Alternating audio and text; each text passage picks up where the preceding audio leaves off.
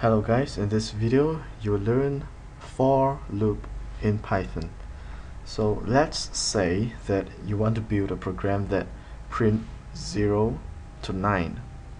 Alright, so there are two ways to do this. Either you print 0, print 1, print 2, all the way to print 9, which you will write 10 lines of code here. You can pick another way which, which is an easier way by just using this statement. For i in range 10 print i. Let's try to run this first.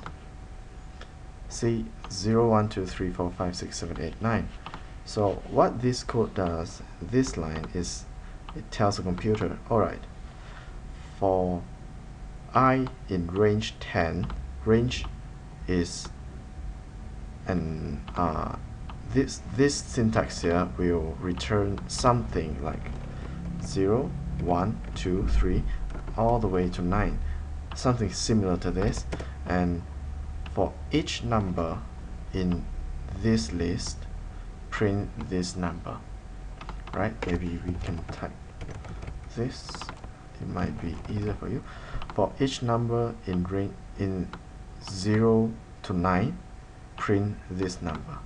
So what if we want to print 1 to 10 we can just add 1 here. So the first time it runs it will be 0 plus 1 and then the second time it will be 1 plus 1 the third time 2 plus 1 all the way to 9 plus 1 which is 10 so let's try to run this. 1 2 3 4 5 6 7 8 9 10 because usually the computer starts counting from 0 up to the number you specify.